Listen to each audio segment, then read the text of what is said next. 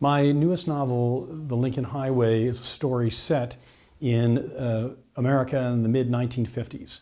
Uh, before our story begins, the hero, Emmett Watson, uh, at, in high school, goes to the county fair with his younger brother. Uh, a bully picks on him. He punches the bully. The bully falls back, hits his head, and dies. And as a result, our hero is sent to a juvenile work farm uh, to pay his debt to society. The story begins the day that he has been released, having completed his term, and the warden of the facility is driving him home to the family farm. While he's been away, his father has died, and the farm is in foreclosure. His mother is long gone. So his intention is to pick up his younger brother, Billy, get in his car, and move, start a new life out in California.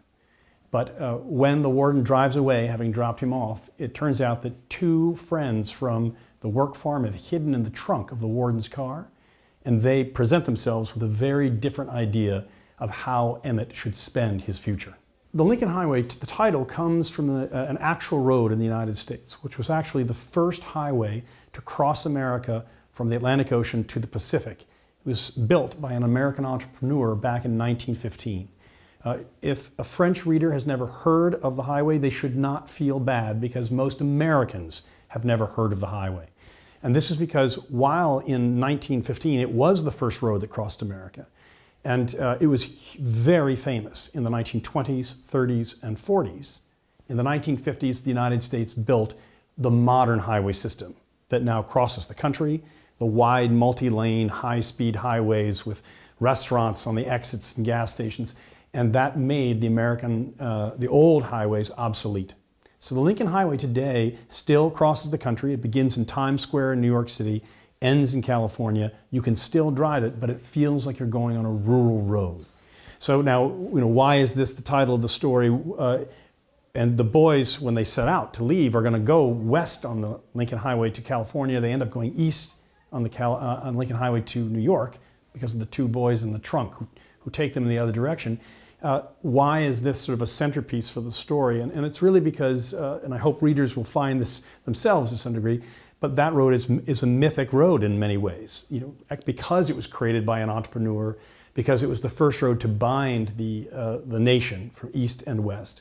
It was the first road that allowed Americans to travel the country easily. And yet now it's a, a, a, bit of nostalgia. It has sort of faded in its importance. And all that feels right to be at the center of this story of a, what is basically a journey tale. In my work, uh, I like to have elements which overlap between the stories. And uh, in the case of the Lincoln Highway, there's significant overlap with my novel, The Rules of Civility, uh, Le Règle de Jeu, I guess in French, um, where uh, one of the main characters of the Lincoln Highway is the nephew of a central character in uh, uh, Rules of Civility. A house in the Adirondacks plays an important role in both of the stories. But the bigger, sort of more interesting overlap in many ways is a strange one. And this comes from the fact that when I was finishing, uh, nearly finished writing The Lincoln Highway, um, it only takes place over 10 days, and it ends around the 21st of June, 1954 as I was writing that final chapter, it occurred to me for the first time that my novel, A Gentleman in Moscow, which takes place over 30 years, ends on the 21st of June, 1954. And uh, so once I realized that, I began to sort of think about this common ending. And, and right now, uh, for those who've read A Gentleman in Moscow, they may recall that the culminating moment in that book is when all the telephones in the Metropole Hotel ring simultaneously at midnight on the 21st of June, 1954.